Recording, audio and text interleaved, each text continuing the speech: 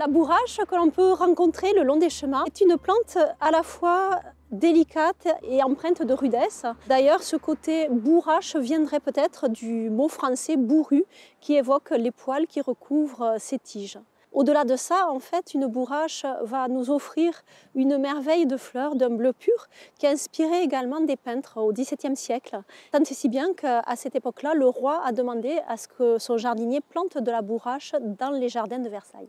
Alors, au-delà de, cet aspect, la bourrache, on pourrait dire, est vraiment l'amie des femmes, puisqu'elle va pouvoir les accompagner tout au long de leur vie. Alors, comment? Au cœur de la bourrache, on va retrouver des graines et ces graines, en les pressant, on va pouvoir obtenir une huile vraiment précieuse qui va être très très riche en acides gras polyinsaturés d'une famille qu'on appelle oméga 6 et en particulier en acide gamma-linolénique.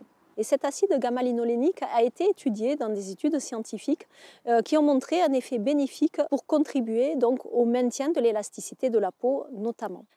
Plus précisément, euh, comment va-t-elle accompagner les femmes tout au long de leur vie? On a vu, il y aura cet effet bénéfique au niveau de la peau, mais également au niveau des cheveux, des ongles, qui pourra être recherché à tout âge.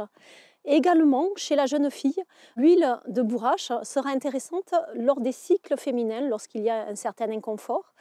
Chez la femme qui prend de l'âge, euh, à ce moment-là, en période de ménopause ou préménopause, euh, l'huile de bourrache prise par voie orale sera intéressante pour le maintien de l'élasticité de la peau et également un maintien d'un confort intime. Donc voilà, c'est pour ça qu'on pourra dire que cette huile de bourrache est vraiment l'amie des femmes tout au long de leur vie.